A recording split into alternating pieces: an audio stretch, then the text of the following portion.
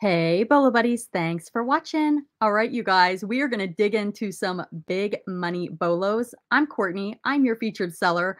I'm going to tell you some about some of my eBay solds. I'm going to tell you where I got it, what I paid for it, and what it sold for.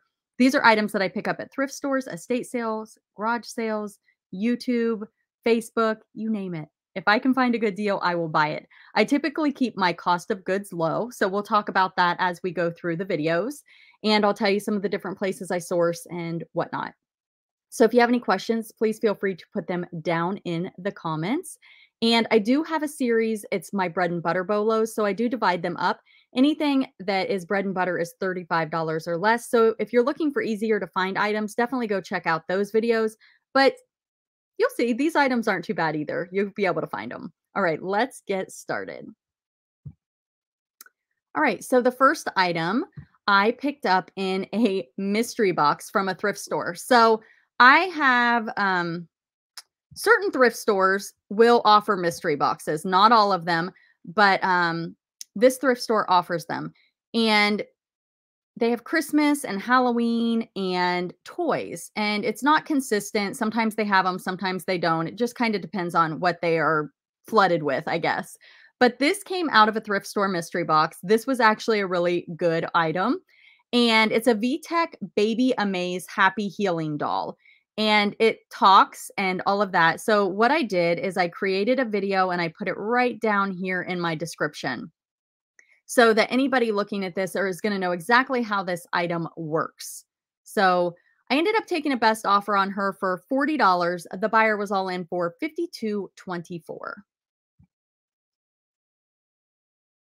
The next item is House of Hatten. You guys, these are amazing. The sell through rate is so good. Um, at least in my experience. I guess I didn't check sell through rate on eBay, but I sold all of these super fast. I I don't even know if I have any left from this estate sale.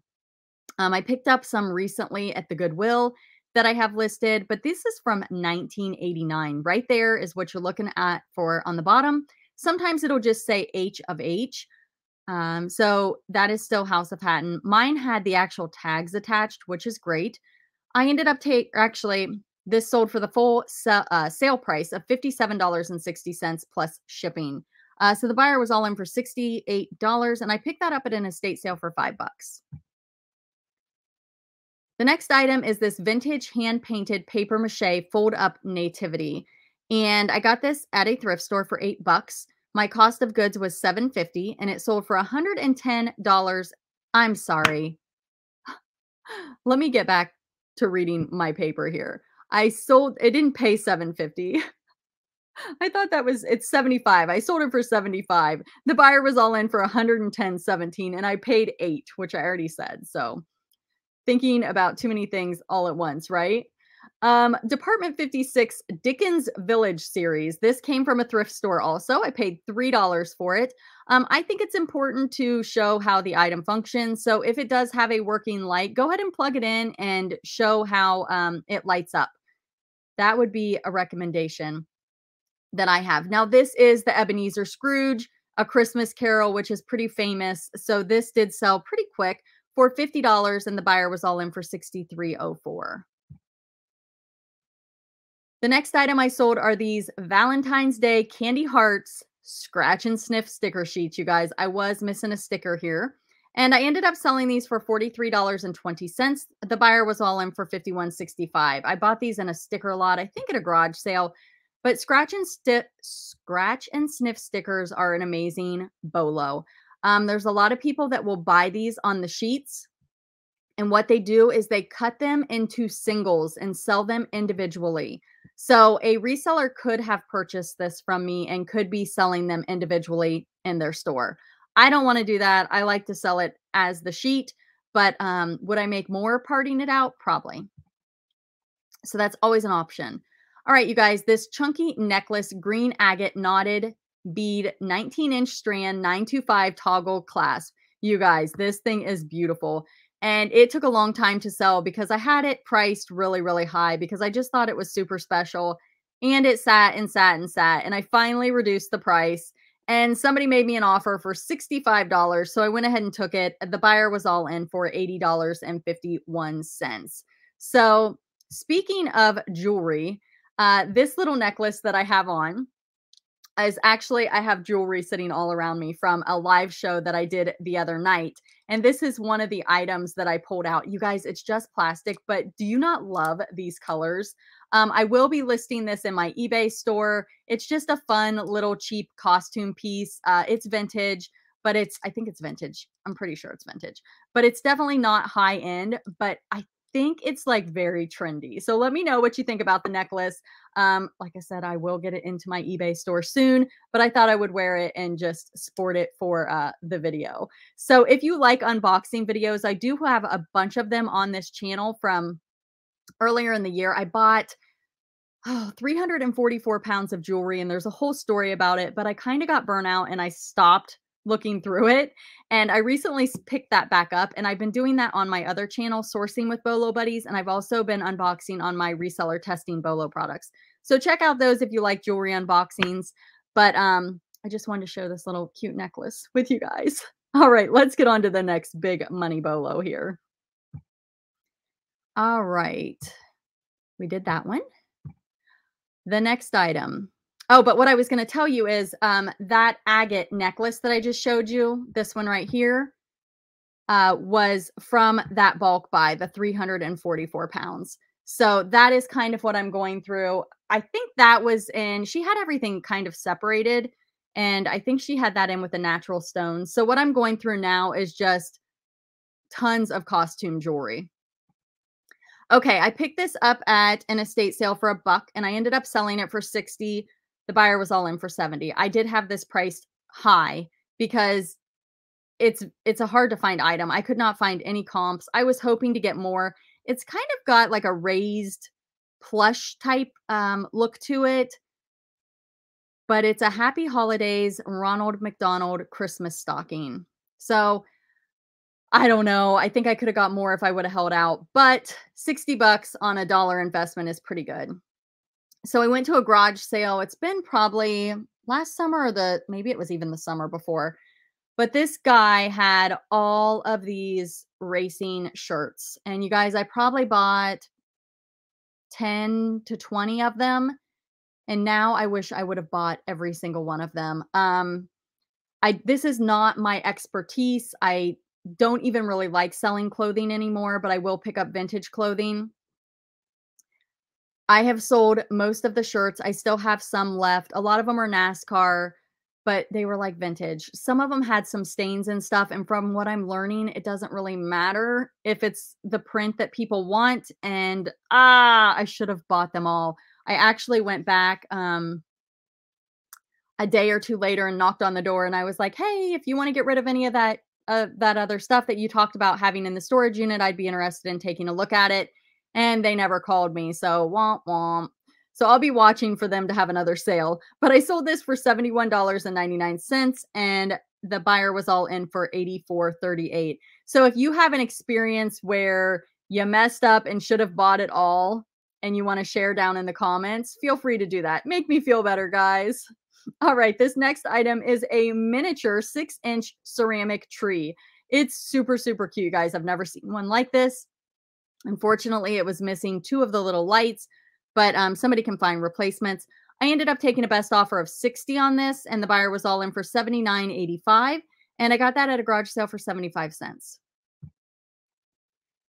The next item is this vintage Barbie, and it's Dolls of the World. And this is actually my husband's find. He's like, You told me to get Barbies, right? And he was at a garage sale, and I think it was a garage sale or an estate sale but they had they were three dollars a box, I do believe. So he brought home like four or five of them. So I listed them for him, and he sold this one for thirty eight dollars and forty six dollars and fifty five cents. The buyer was all in for, and it's funny because um, Mountain Man Treasure. I don't know if you guys have ever watched him, but check out his channel. He started selling Barbies.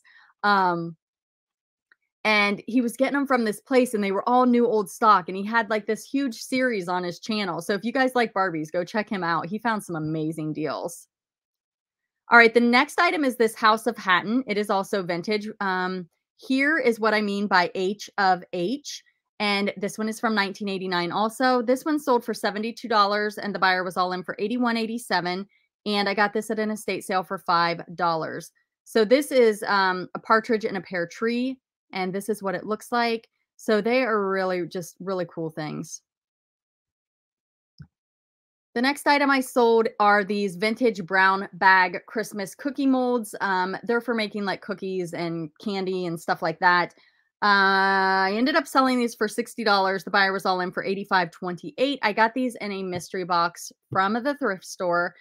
And I was actually unboxing these on a live show. And um, I was trying to decide how I wanted to list them because on their own, they were kind of flooded the market was kind of saturated and they weren't going for a lot and a lot of people were sitting on them and i'm like you know what? I'm just going to lot mine together and they sold really really fast because i did it that way. So i think i did um, the right thing. So if you were at that live show this sold fast. If you want to come hang out at my working hangouts where i list live and you guys can list at the same time and it's kind of motivational you can check out my reseller testing bolo products channel that is linked down below the next item is this Jimmy Snowflake Spinning Snowman. It was broken, you guys, and it still sold for $100. And the buyer was all in for $125.38. And I got this at a thrift store for $5. And a lot of these items were also listed on Poshmark and Mercari, and they sold faster on eBay. I do use List Perfectly to cross post my items. It's an extension that you put on your computer and you can bulk cross post. So it's so much quicker than doing it manually. If you want to check it out, I have a video down in the description that shows you how it works. If you decide you want to try it, you can get 30% off your first month with a coupon referral code BOLO Buddies, all one word. This solitaire game, I think I picked this up at a thrift store and I want to say it was like 50 cents or a buck. Again, this item flew out of my store for $39.60, and the buyer was all in for $49.70. Anytime you can find these old games, uh, Radica is a good brand to look for, but this one was sealed. So it really just moved quickly.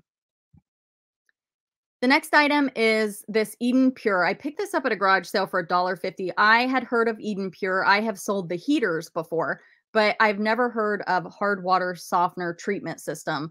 But I was like, it's a dollar fifty. I might as well try it. And again, this flew out of my store. Um, 50 bucks is what I sold it for, and the buyer was all in for 61.75. The next item are these bottle brush Christmas trees made in Japan. I sold these for $60 and the buyer was all in for $71.96. If you guys can find these, definitely pick them up. These are pretty detailed with the glitter, super cool. Nice little bolo. The next item is this Fisher Price circus train. I got this at a garage sale for $5 and I ended up selling it for $57.60. It is incomplete and played with condition, so I just included that info. The buyer did pay shipping, so they were all in for $74.25.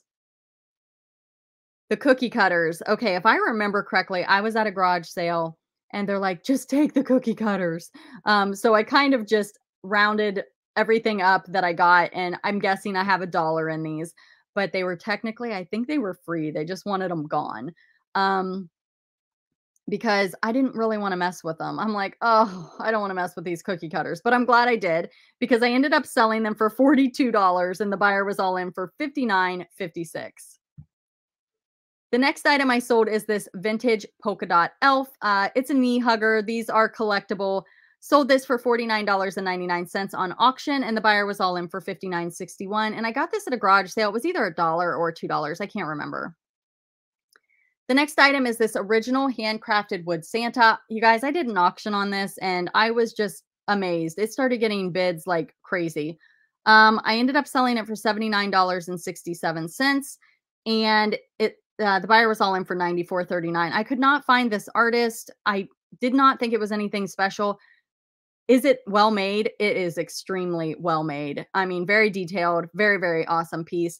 Did I undersell it? If you know, let me know in the comments because I don't know anything about this stuff. And that came out of a mystery box, a Christmas mystery box.